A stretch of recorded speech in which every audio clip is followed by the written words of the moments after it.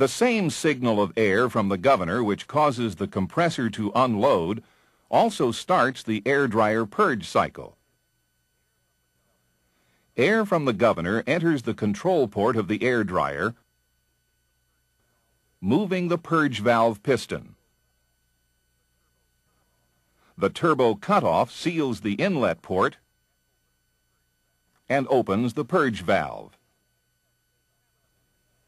Contaminants in the end cover sump are expelled from the open purge valve.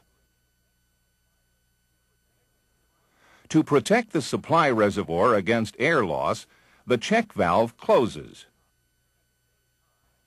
At the same time, air in the purge volume and air passing through the desiccant cartridge reverse direction as the purge valve is opened. Air from the purge volume passes through the orifice adjacent to the check valve and expands to near 0 psi becoming super dry before flowing into the desiccant cartridge.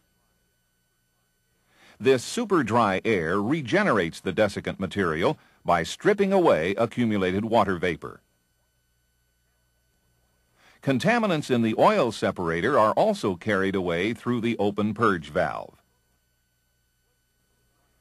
Closing the dryer inlet port during the purge cycle ensures that loss of engine turbocharger pressure is minimized in the event the compressor intake is connected to the turbo.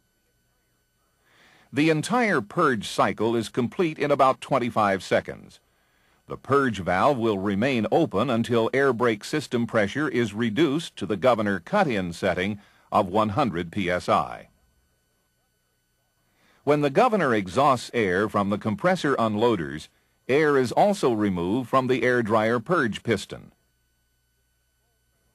With control pressure removed, the piston moves in response to its spring and closes the purge valve.